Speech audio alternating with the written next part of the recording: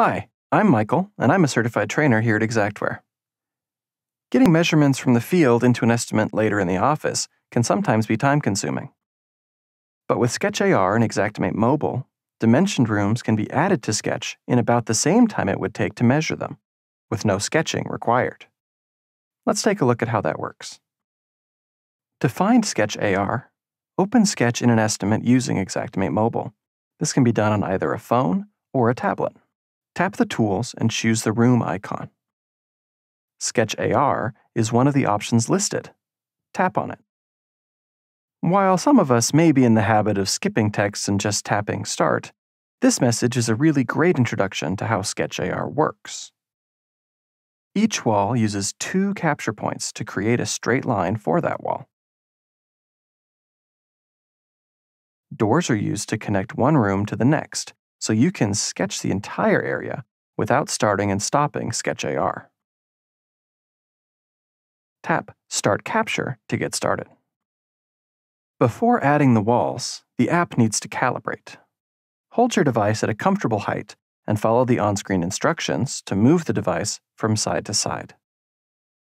Give the room a name and move the device up next to one of the walls. Make sure you don't accidentally press the on-off button if that's on the top of your device, just get the camera as close to the wall as possible. The Sketch AR tool shows written instructions at the top to help you keep track of what to do next. Tap the Capture button to mark the first point for the wall. The instructions now say to add a second point for the first wall. Move down the wall to a second spot. These points don't need to be in the corners, but the farther apart they are, the better. Tap the Capture button again to save the second point. The instructions now update for the next wall. Repeat this process for all of the walls in the room. Keep in mind that it works best if you keep your device at about the same height for all the capture points.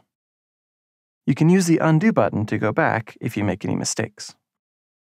You can also add doors, either as you move along the walls or after all the walls have been added. Just swipe the camera from wall to door and then tap to capture two points for that door. These should be on the outside edges of the door, so Sketch AR has the correct dimensions in Sketch. The doors are used to connect this room to other rooms that you might add. You can also swipe the camera to Photo to add images to the estimate. Once everything in the room has been captured in Sketch AR, you can tap End Room. You see a preview, and if it looks good, tap Confirm to move on. Move physically out of your finished room and keep dimensioning rooms as needed. Just repeat this process for each different space. Once all of the rooms are captured, tap Return to Sketch. All of the rooms are added and estimating can continue as normal.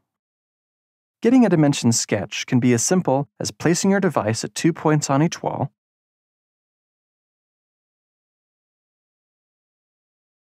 adding doors, and giving each room a name.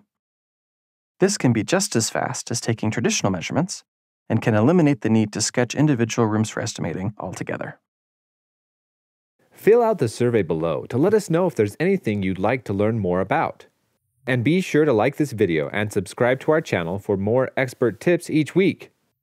Visit xactware.com/training for additional training on Xactware products.